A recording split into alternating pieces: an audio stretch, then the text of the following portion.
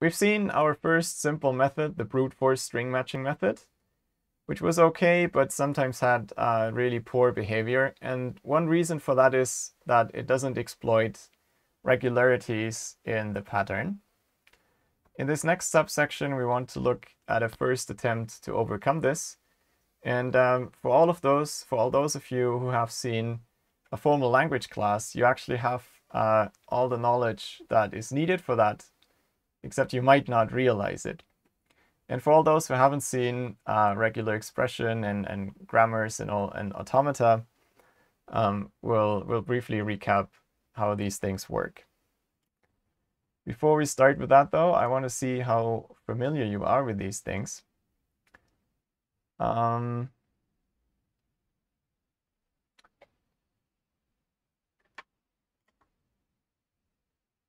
no, I don't seem to have that question prepared.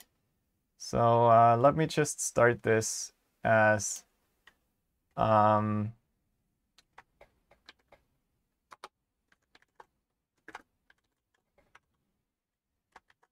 So I'll just put in the, the dummy options for you and uh, you can use the slide then. Okay, so ignore the, the text in the question on Slido. Uh, I somehow lost the, the question when I prepared the session, um, but just uh, use what's written on the slide.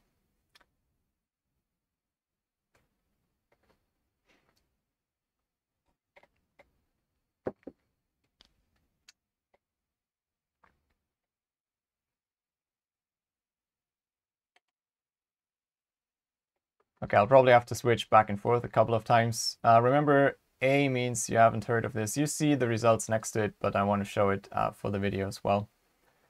And B says, uh, you remember the terms vaguely, but not very well. And uh, C and D are means um, you're fairly familiar with it. And uh, I think most people have voted now, and most people seem to either not have heard it at all or just vaguely remember it weren't courageous enough to claim that they, they do remember. Uh, so that's that's fine. Um, that means um, I will go slowly over these parts. Uh, thanks for participating in the poll. Um, if you if you do know, then this problem becomes simple because you can recognize it is asking the following question. Uh, if you're if you're looking for the pattern in for a pattern in the text, so here's our text again. I'll draw these pictures 500 times, so um, get used to this. Uh, if we try to find the pattern in here, it actually means, so if, if these match at this point. I will I will draw these little lines to say that uh, there's equal characters in these ranges. What that really means is there's the pattern here and then arbitrary stuff uh, before and after it. And that together gives you the text. Okay. Another way of saying we can find the pattern in the text is saying the text is something followed by the pattern followed by more something, a different something potentially. And this is uh, what formal language people write in this way. This is the set of all strings over this alphabet sigma, so that's stuff. This is, again, more stuff, and there's the pattern in between. So this, uh, this term is the set of all strings that are formed by something followed by p followed by something and something can be empty in both cases. Okay, um, people from, from regular expression, uh, people from, from formal languages uh, will know that this is a regular uh, expression, which means that this language that results from it is a regular language, a formal, regular formal language.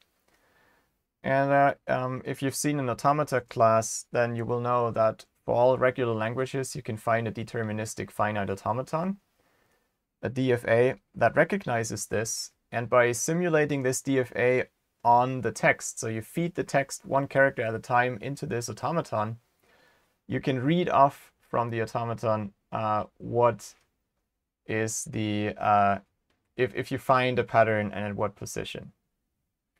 Okay, uh, that's pretty cool. So uh, as the theoretician would say, job done, let's go home. Uh, the practitioner, the, the, the programmer who wants to implement this might say, hold on, uh, not quite. Uh, first of all, I don't know about all this stuff, so please help me out. And uh, more seriously, also, if you if you do know, uh, this just says there is such an automaton, but uh, it's not clear how to compute it, maybe. And the second problem is these automata can be very, very big, and then they would be close to useless for an efficient algorithm. It turns out both problems are not a real problem. They can be very efficiently solved, but they require a little closer a look than our theory professor might might have thought at the first shot. Okay, um, to recap, uh, for those of you who have never seen this, uh, this is what people usually mean if they draw automata. It's a, a directed graph. There are these circles, that's these are states that you can be in. And then there are arcs or directed edges uh, with uh, letters on them, which are the labels um, that are assigned to this.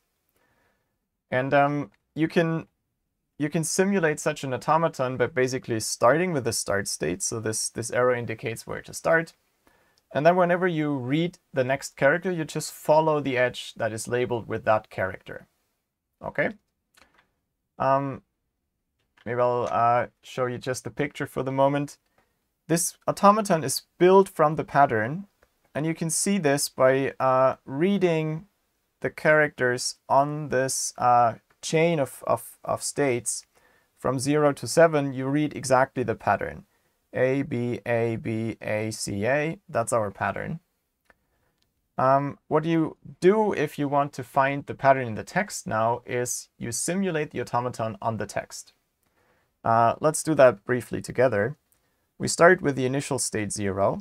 Here's the text. Um, already prepared this in this table. So we read an A. We're in that state 0 at the moment, so we check what edge goes with an A, so that goes to state 1. Now we read an A again, and the arc says we stay in state 1. So we are in state 1 still. Now we read a B, and the edge for B goes to state 2. Okay, so now we're in state 2, and we read an A, so you, you see how this goes. Uh, state 3 with a C leads us back to 0. Um, from 0 with an A, we go back to 1, and another A, we stay in, in 1. Now reading a B takes us to 2 again. Then we read a, a, another A, takes us to 3. Read another B here, so that takes us to 4. And now things get slightly more interesting. We actually get to um, the end of this automaton. And uh, at this point, we have we have reached this um, node 7, uh, this, this state 7, and that's double circled. That means it's an absorbing, it's a final state, an accepting state. If you end up in that state, you will accept the input. So automata always do one or, one or two things. You feed them with a string, and they either tell you, I like this string, or they tell you, I don't like this string. They accept it or they reject it. And they accept it exactly if and only if you end up in a final state after reading the input. Okay, we do uh, one more A, but then here um, the entire alphabet just keeps us in, in this final state. So that means this automaton is built so that if there is an occurrence of the pattern in T, that first occurrence will take you to state 7 and you will stay there indefinitely. Which also means the first point where you found state 7, that is the end of the first occurrence, right? So you can find a... Here is your occurrence of the pattern ABAB ACA. That's pretty easy. That's um, mostly what we need from automata theory. Um, uh, the other things, there's a few uh, other concepts that will make more sense if you've seen them before. Otherwise, the motivation might not make so much sense to you, but you can still follow along by just uh, looking at, at the examples and uh, listening to what I say. So here's that table filled out in nicely. Uh, what is going on here and what is what is um, the intuition behind this? And I want to um, stress that part. So this uh, this automaton, I just threw this at you and I, I said this is built from the pattern and we will look uh, closely at what that means um, and how to build it. The main insight um, that is behind this automaton is, is this invariant. Uh, if you're currently in state q, it means you have seen a prefix of the pattern of q characters, position 0 up to q, but excluding q, remember? Uh, so this is, this is the longest prefix of the pattern you have seen up to now when you start um, when you start reading the text. So that's the longest prefix of the pattern you can find in the, the current portion of the text, uh, and no longer prefix of that exists. Um, so this is this is shown down here, but um, in a we need that picture for something else. Um, let me let me show this again. So one more time, my favorite picture. Here's the text. The light's doing weird things today. Um, you feed the text through this automaton. So there's a certain portion of the text that your automaton has not yet seen. Okay, so this is, this is the prefix that um, the automaton really has read. You feed this into the automaton character by character. And uh, after every character, the automaton changes state, and um, that state tells you what it currently thinks it has seen. And if um, at this point you're in state Q, after reading this last character, then it means that there's a prefix of the pattern. Maybe the pattern would be here, but we don't know if this matches. The only thing we know is that up to here it matches. And uh, this is, this matching part is exactly up to, sorry, uh, up to, up to state, up to letter Q, but excluding this last one. Okay. Um, that is what is meant by this invariant, and that's how this this automaton is, is constructed. Um, why, why, why can something like this work? Um, so here, the puzzling thing is that this automaton is only constructed knowing the pattern. It doesn't know the text, and the same automaton works for all texts. Uh, that might be a bit surprising. How is this possible? Because um, if the automaton only knows the pattern, how can it react correctly to all possible texts? Uh, and the answer to that is, is in this observation here. Um, the automaton, or its state to be more precise, tells us that uh, the text we've seen so far ends with a certain prefix of the pattern. That was the previous state, Q. And now we read one more character from the text, C. Um, if we have a um, if we have a mismatch, if we do have a match, then we just go to the next state, and uh, we know again um, more about the text. We have learned more about the text by knowing that there's one more character we could match. But uh, how do we know what to do if it doesn't match? Um, then we know that this is not a prefix of P. And we know uh, before we had C, this was the longest prefix. Okay. So this also means um, if you're looking at if you're looking at this picture down here, if the text currently ends with um, this uh, shouldn't be the entire text. There can be stuff before it. I forgot to draw the stuff. So uh, T is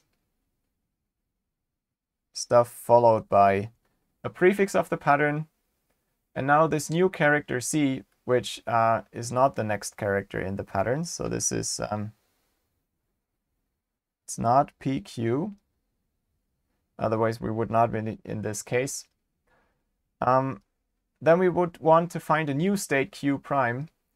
And that state can only be smaller So it's completely uh, determined by the characters we already know and the one character that we read. So all the information to decide uh, what happens is already in the automaton. I hope this uh, helped a bit to clarify why the automaton really has all the information necessary to determine what next state to go to, and hence to decide whether the pattern occurs in the text.